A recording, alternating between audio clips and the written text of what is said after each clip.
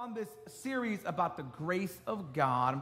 And uh, we talked last week about the basic levels of God's grace. And what I mentioned to you last week was that uh, I had heard this teaching in this sermon, and had, in this sermon was a study that talked about how the number one thing that could help you grow in your relationship with God was an understanding of, somebody say, the grace of God.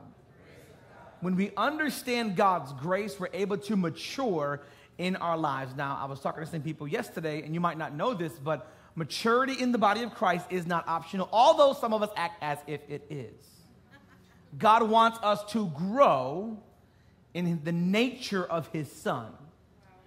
God wants us to grow in the nature of Jesus. Now, last week I gave you a basic elementary definition of grace, which was the unmerited favor of God, a gift I did not deserve. And that's the foundation. Amen.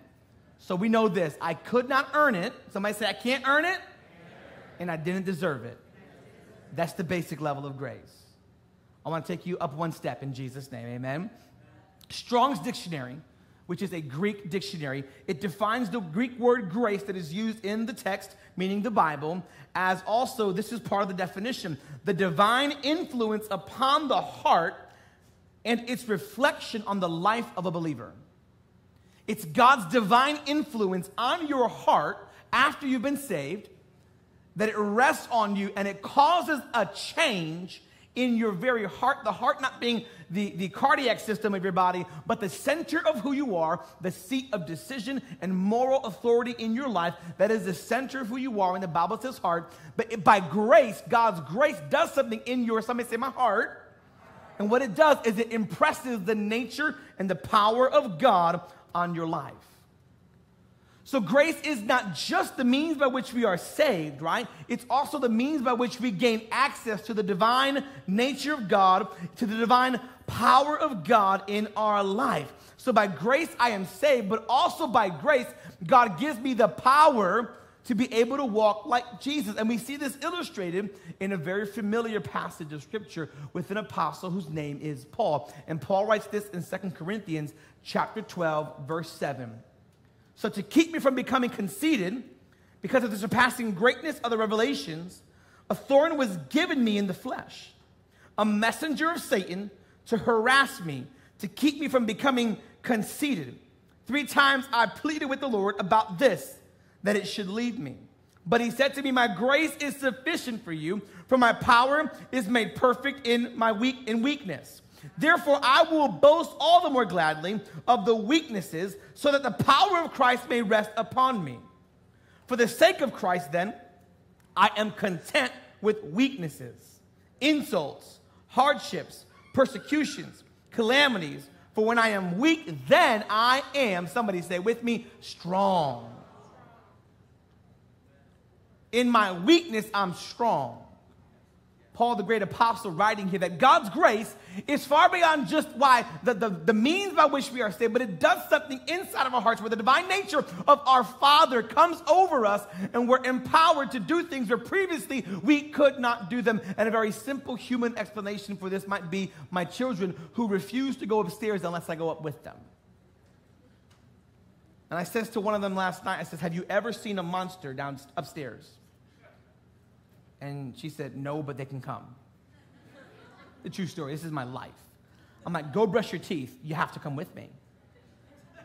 I spent years, me and your mother, teach you how to brush your teeth so I would not have to go with you. Me and my wife, we moved a bedroom downstairs. The kids are upstairs now. They have their own floor in their mind. But apparently, their floor needs a chaperone in the spirit. And so I says, baby, there's an alarm system in the house. Nobody can get in the house, but they can come to the windows but the windows have locks on them so nobody can open it all the way, but somebody can still try. I'm like, would you just go upstairs? she's like, you gotta come with me. By this point, she's whining. Do I have any parents in the building here? In her weakness, my heart was moved to the point of not knocking her out and just walk upstairs with her. And so I go up with her, and now she's boldly brushing her teeth with daddy by her side. Grace empowers you to do things you couldn't do by yourself. Grace empowers me to do things. It endows me with power that I otherwise could not do. Now, these verses, if you've been in church for any amount of time, they might be familiar to you, right? Where my grace is sufficient for, for you. My power is made perfect in weakness. And this is Paul. And Paul is writing to the church in Corinth. And Paul actually planted the church in Corinth, but when he left, people started coming into the church and kind of diluting and saying that Paul wasn't an apostle, he wasn't this, he wasn't that. And so Paul, numerous times in his, in his epistles, is listing his credentials. And what he's basically saying is, I'm, I'm, I'm an apostle. And I got this revelation. But what he's saying in the midst of it is, is, is God, he, he kind of nestles us in God, in order to keep him from becoming conceited, did not give him, but allowed for something to come in and trouble him. He calls it a messenger of Satan. We don't know what that is. We don't know if it's like a sickness, a mental issue. We don't know what he got going on, but Paul got some issues. Some of you are like that. We don't know what's wrong with you, but we know you got your issues. You got, you got issues. We can't put our finger on it, but the way you be acting, mm, your friends are like, he's talking about you. He's, this guy's a prophet. No, no, no. We all got these issues. And, and, sometimes you might wonder if you ever wonder why, in the best season of your life, God will allow for something to come knock you down. He's doing it, it's His mercy to keep you from becoming conceited. And so Paul says, I had all this going on. He's laying out his criteria, his, his, all his accolades. I had all this, but God, in order to keep me from becoming conceited, he allowed for the enemy to come and plague me in this area of my life. And he says, I begged God. Anybody ever begged God? I begged God to get this off of me. Three times I went before the Lord. Three times I said, God, please take this debilitating thing off of my life. And verse 9, a very famous passage of the text, it says, And he said to me, My grace is sufficient for you. Paul's already saved, but God says, By grace, you're going to get through this.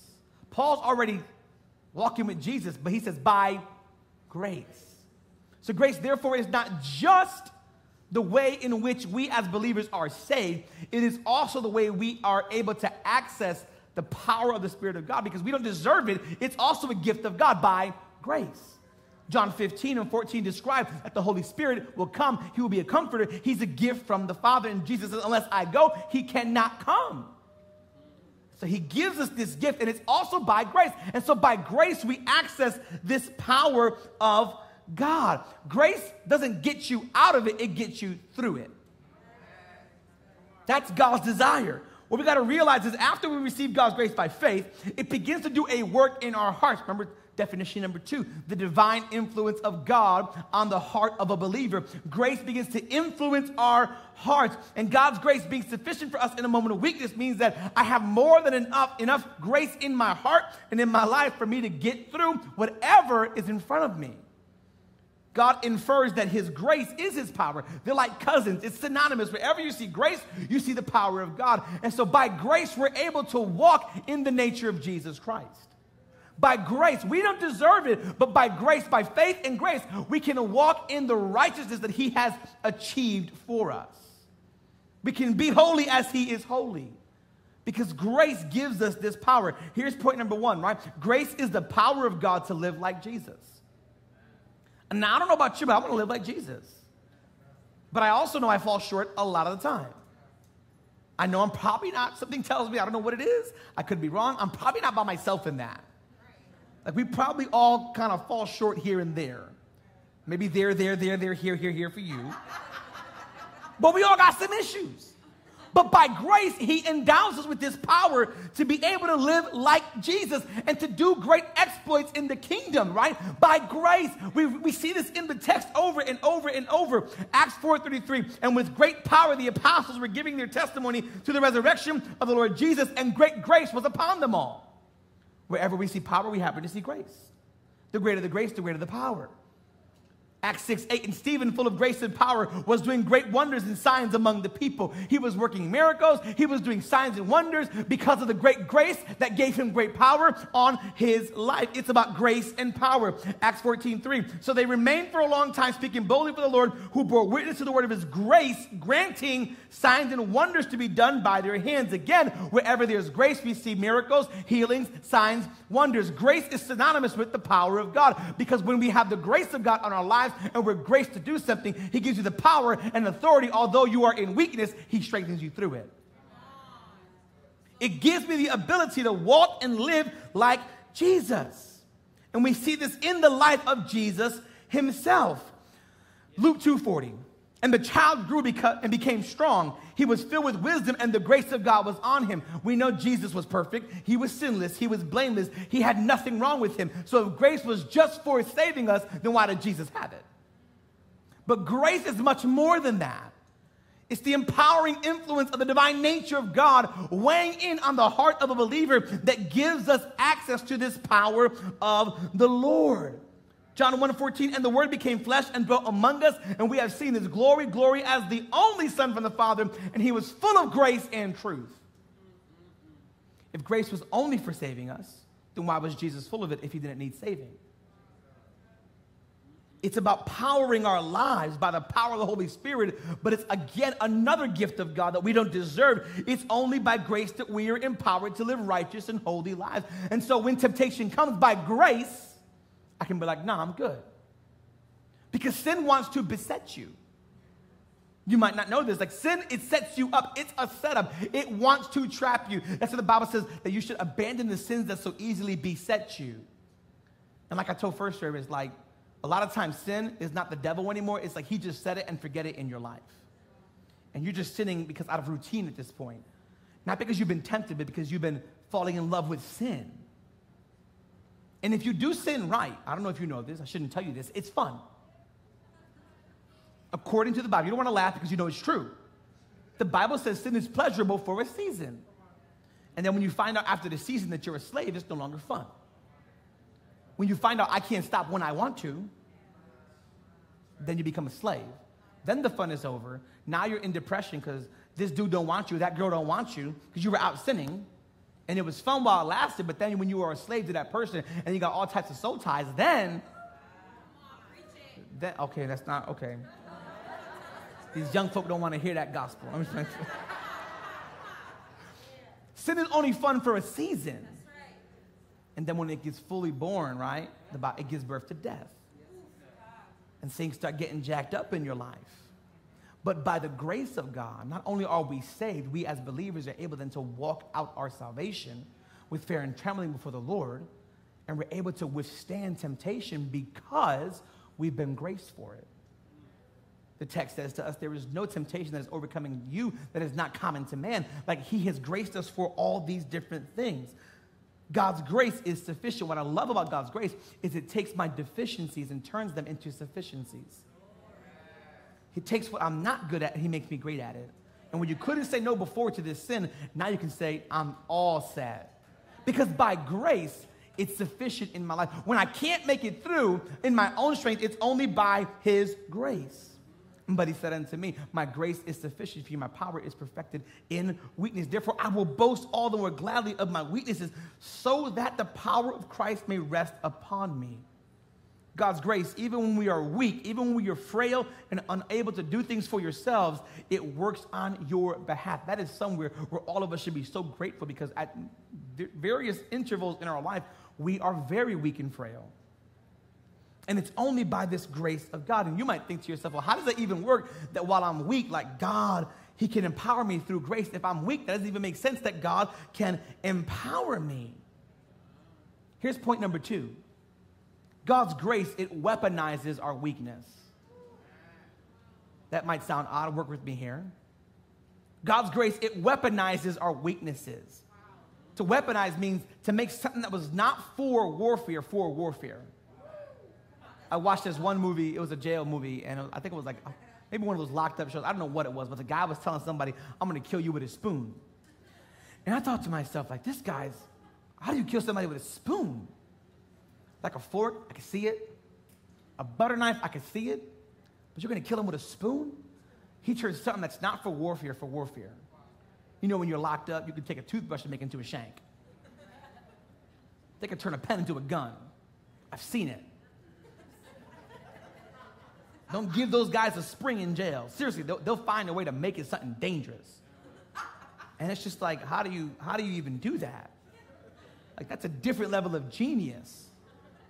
Like I watch those shows and these guys are getting their cells searched out and they have all these shanks. Like, how do they make that? That's the toothpick. Then they made a knife out of it. And it's just like they weaponize things that aren't meant for warfare or for violence and they make it for that. God's grace takes your weaknesses and it weaponizes it for warfare in the spirit. And where you were once weak, He begins to empower you to overcome, to have a warfare spirit, to be able to go against the enemy in places where you were previously in defeat. He's like, I am going to do this for you. God takes what otherwise is a liability and a disqualification in man's eyes, and by His grace, He empowers us in our weaknesses.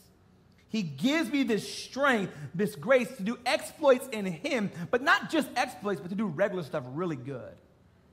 God's grace, somebody say it's sufficient.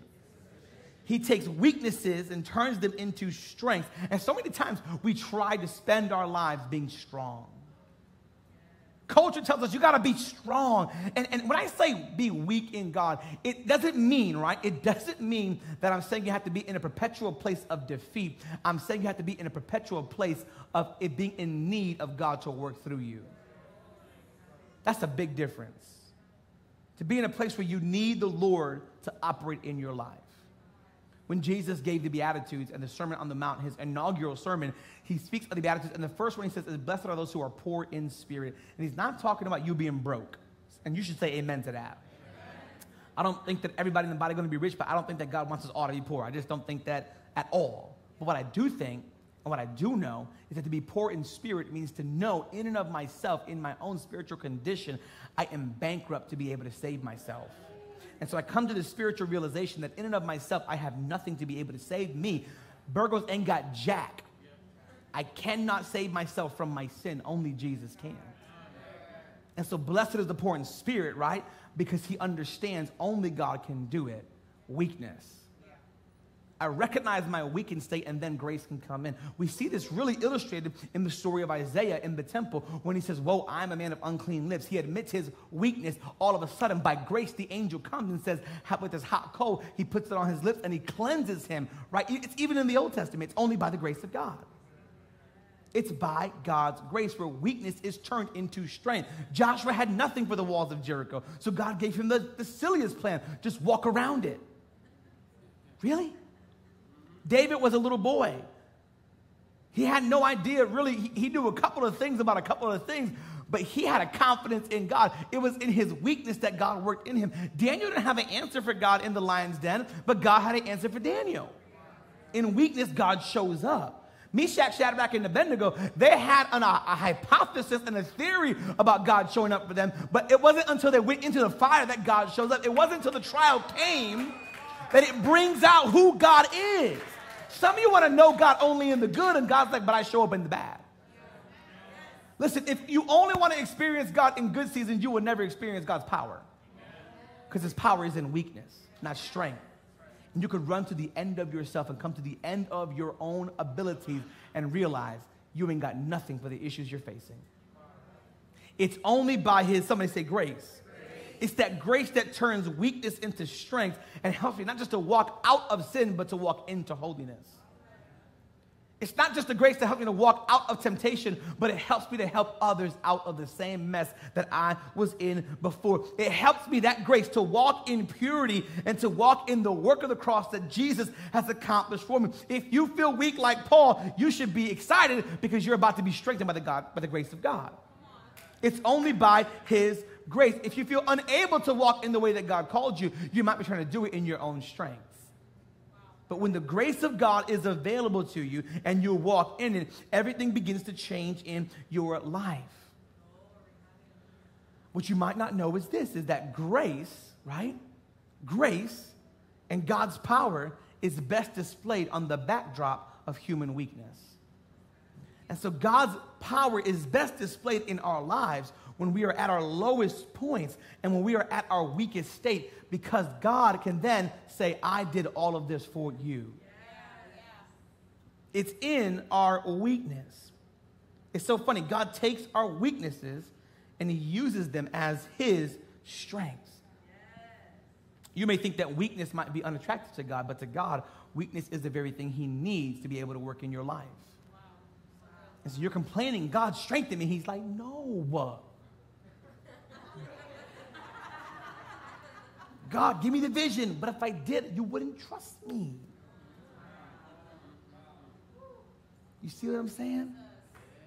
God, show me the next steps. He's like, I'll give you the next step. You heard the, it's just, you know, that skill right there. He's like, yo, I, I, if I told you everything, you would be in strength, but I want you in weakness. And it's for your own good. So you don't get conceited.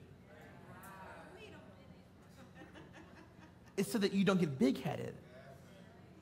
Grace is a divine influence on the heart, and it causes the effect of the power of God on the life of a believer. And Jesus is that model filled with grace and truth. He walks blameless before the Lord, right? And the grace of God takes me to places where, where I was once weak, but now I am strong in Him. By grace, I am strengthened by the Spirit to walk away from things that I once was bound by. By grace, right? By grace, you can stay sober. It's by grace that you can break all addictions in your life. By grace, you can operate in your God given identity because sin loves to identify us and label us, but grace also identifies us as sons and daughters of God. Grace identifies us through our weaknesses, saying, hey, you can still do this because the power of God is with you. And we spend our lives running from weakness when it's the very thing that is a magnet for the mercy of God and the grace of God in your life, that you can allow God to work in your heart, that you would lean on Him and depend on Him. When I say weak, I mean that you are in a place where you are constantly leaning and depending on God and His grace. Your weakness is being made into a weapon in the hands of God. Your weakness is God's ability. He turns inabilities into abilities, and you see the supernatural power of God. And now your pain has a purpose, and your hurt is helping others heal. And God is doing supernatural things in your life because He weaponizes the weaknesses that you thought were a liability. And God says, No, no, no, I got a plan for this in your life. Somebody say it's by grace. By grace. Don't run from the places where you feel weak in your life. Don't allow for the enemy to get you to feel like you have to grow to a certain place of strength before you can operate in the kingdom. God's like, no, I want you weak. And then, and then this dude just starts bugging out. And by this dude, I mean Paul. He's like, he's just like, you know what? For that reason, I'm, I, I revel in insults. I love when people insult me. That's what he's saying. I, I love when I'm persecuted, when I get beat up for Jesus. I love hardships. I love going through it. This dude's whacked out. He says, he says there, I, I'm gonna read it to you. He says, calamities. You know what calamities is? The word for a synonym would be catastrophe, horrible times. He says, I, I love it. When I go through calamities, I'm like, yes. like, but that's a man who's been powered by grace. When you've been trying to get yourself through a situation, you read that, you're like, he's crazy. But when you've been through some stuff and you know only God has gotten you out, you read a text like that and you're like, yo, I know what he's talking about. Because if it was not for grace, the old Southern Baptist down in, in Jimmy Swaggart's old church used to sing this song when I look back over my life and I think things over I can truly say that I've been blessed. I got a testimony. I can look back over my life and be like, you know what? God has done, did some things that I know was not me because I leaned on His grace. It wasn't by my own doing, it wasn't by my own hands, it was only by the grace of Jesus Christ. And, and, and God takes all the weaknesses, all the areas where you might worry about, He's like, I want that. God often doesn't use the areas where we're gifted at. He wants to use the areas where we're weak at. He likes to do that because he wants to set us up to be able to work in his and by his grace. And but he said unto me, My grace is sufficient for you. Tell the person next to you, it's sufficient for you. For my power is made perfect in weakness.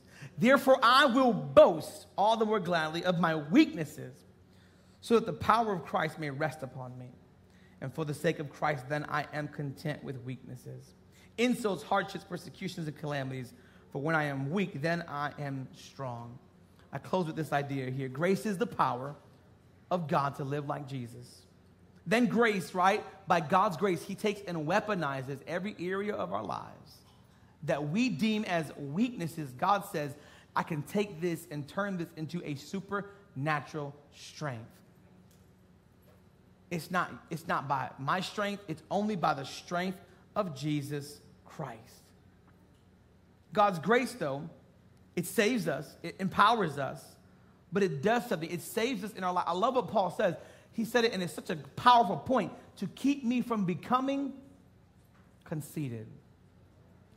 God allowed this calamity to come in for me to be weak so that I might then be strong in Him. Here's what grace is. Here's my final point for you today. Here's point number three grace ensures that God gets the glory. This is big. This is like, on a scale of 1 to 10, it's like 75. Because in our, in our humanity, we want to take glory for some things in our lives. We want to take, maybe not glory, you say credit. I done did this. Well, are you sure about that? Well, I built, are you sure about that?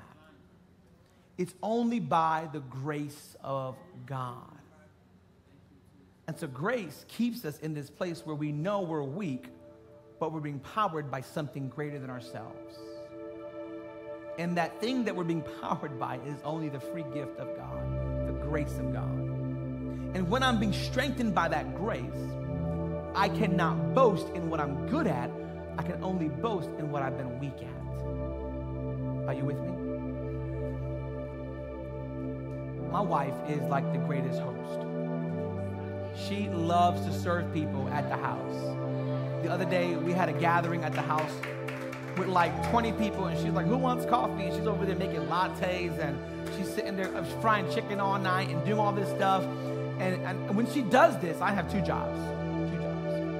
I told the first service this, and, and I have two jobs, right? And the first job is to, while she's in the kitchen, I just talk to the people. We're a team.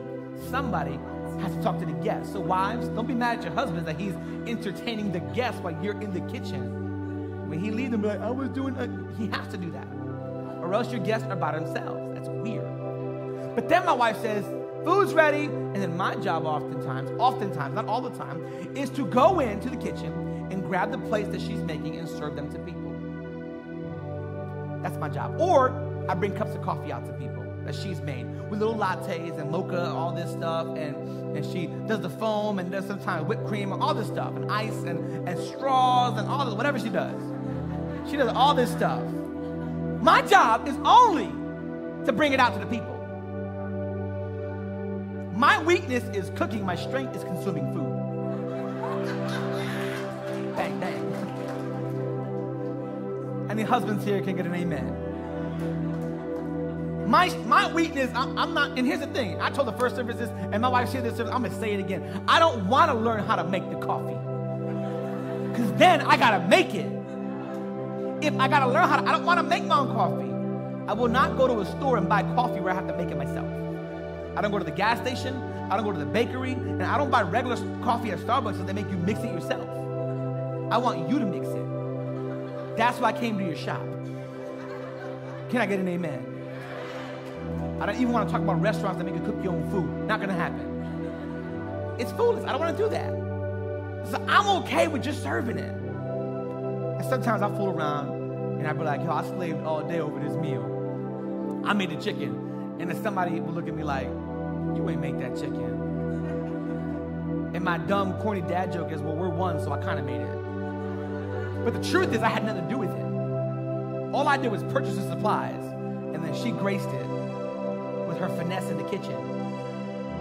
And then I served it. But how foolish would I be to try to take credit for what she has done? All I've done is serve it. Grace makes sure that God gets glory for what He's cooked in my life, and all I got to do is serve it. If I serve it, I can boast on God. If I serve it, I can boast on my wife. And so I'll sit down, my bed, this chicken is good. She'll be in the middle of a conversation, I don't care. Yo, this sauce right here, girl, done killed it again. She's looking at me like, you act like you never ate before. I'm like, I don't care. but this rice is real good, Senny. Looking at me all, I don't care. These beans, mm. what's next? You know? I always hype her up because she's a great host. But here's the thing God hosts his presence in us. Our job is only to serve what he has prepared and not get the glory for it, but give him the glory. How foolish would I be to try to take credit for my wife does in reality when I know that it's all her?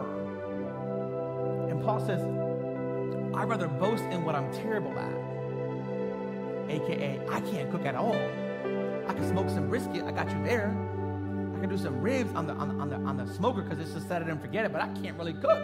I'll let my wife handle it. I made eggs for my kids once, and they were just like, these are okay. Leave it to mom. She's graced for it in this season, right? It's the same deal when it comes to God, y'all. That's a real simple human example to understand that in your life, you can't take glory for the strengths you have if God has given it to you. So instead, I say, I'm terrible at cooking, but God has blessed me with a wonderful wife who cooks. I'd rather boast in my weakness and lift her up than to boast about my weak, about my strength that doesn't exist. Because all of our strength in comparison to God are still weaknesses. There's no such thing as strength in comparison to God. He's not, he's not moved by our gifts. You know why? He gave them to us. Imagine you buy your child a Christmas gift, and every day you come home and they run to you, look what I got! Like, I,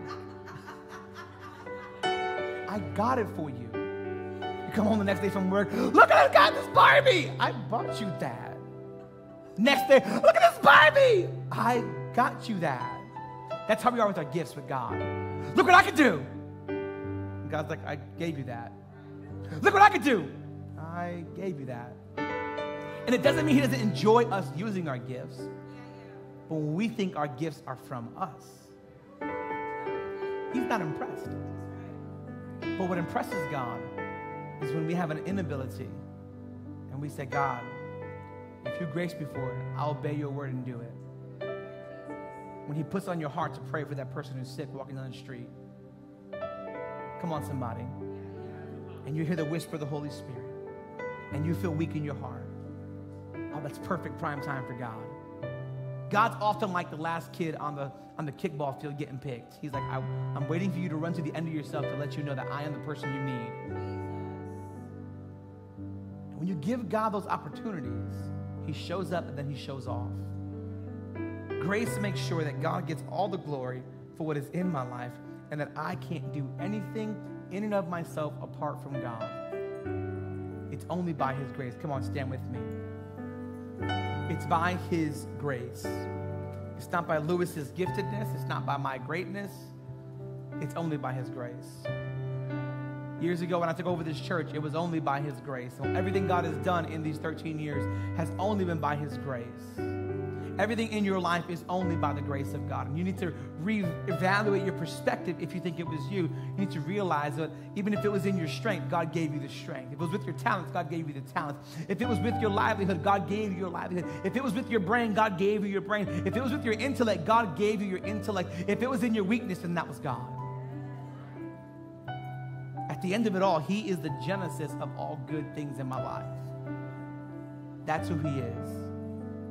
Let's bow our heads for a moment. Oh, Jesus.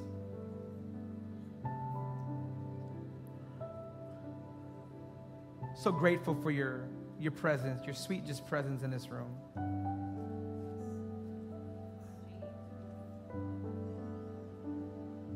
If there be any among us, Lord, who don't know you as their Lord and Savior, I pray that you would, by your grace, show them their need of you right now.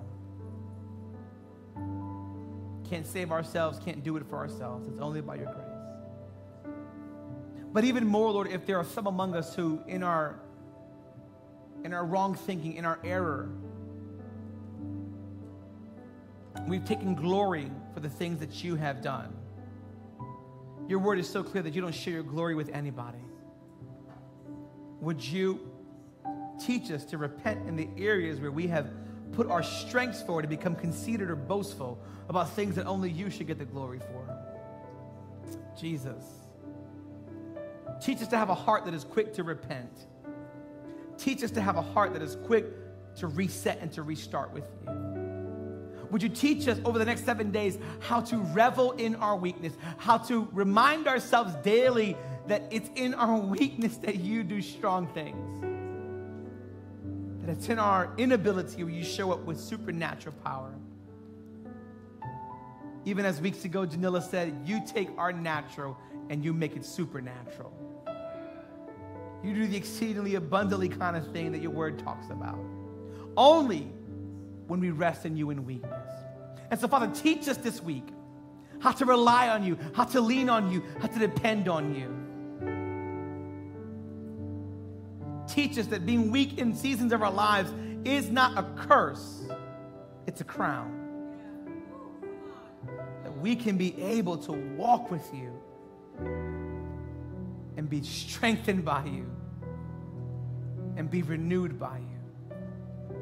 If there be any one of our brothers or sisters in this room or online who feel like they're in a season of tumult and weakness, Father, my heart and my prayer over them right now is that you would strengthen by your grace. That as we've been worshiping and praising you, that they would have been encouraged but then, as the word has been deposited, that by your grace you would raise them up and strengthen them. Teach us not to ask you for everything up front, but to trust you step by step. Thank you, Lord, in advance for grace for tomorrow and for the rest of our week. We love you so much, Jesus, and we honor you in Jesus' name. Come on, the church says amen.